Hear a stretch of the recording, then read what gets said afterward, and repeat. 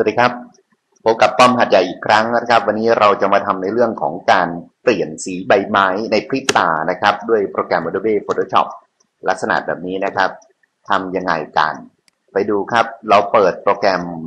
Adobe Photoshop นะครับตัวนี้เป็น CS6 Import ภาพเข้ามาครับ เลือกภาพต้นแบบ วันนี้เลือกเอาภาพนี้นะครับ เครื่องมือที่จะใช้ใช้เป็น Quick Selection Tool นะครับ แล้วก็ มาระบายครับ ในส่วนของต้นไม้ ส่วนที่เป็นสีเขียวที่เราวันนี้ต้องการที่จะเปลี่ยนสีนะครับ ให้เป็นสีแปลกๆไปจากธรรมชาติ ก็ค่อยๆระบายไปครับ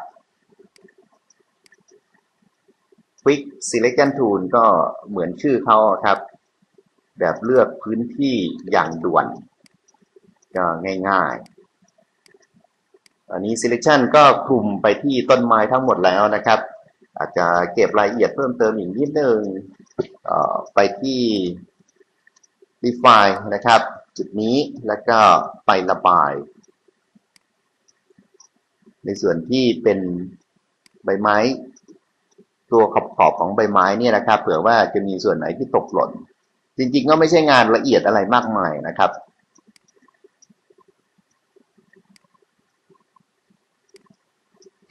อเสร็จแล้วก็มาคลิกเลือกที่ช่องนี้นะครับ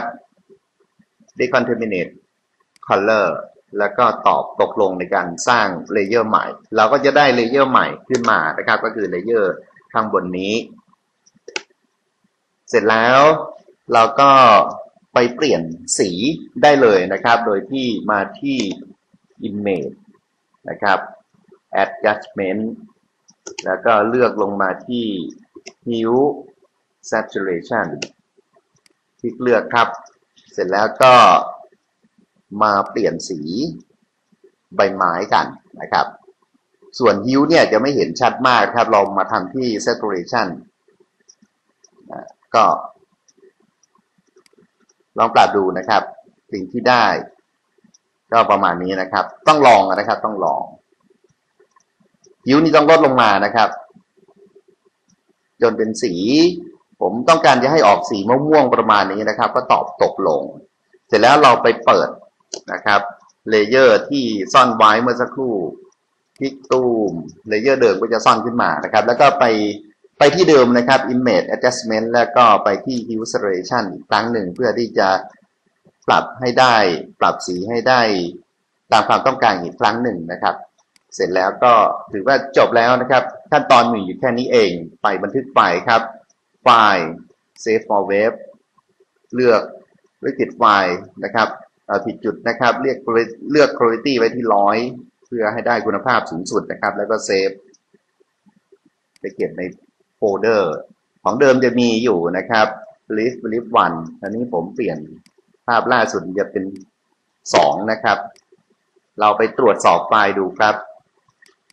มีสองที่ทำเมื่อสักครู่นะครับ และนี่คือภาพต้นแบบลิงงานเมื่อสักครู่นะครับ ไม่ยากเลยใช่ไหมครับ ลองเล่นดูครับสำหรับ Adobe Photoshop ทุกท่านสามารถทำได้สำหรับวันนี้ สวัสดีครับ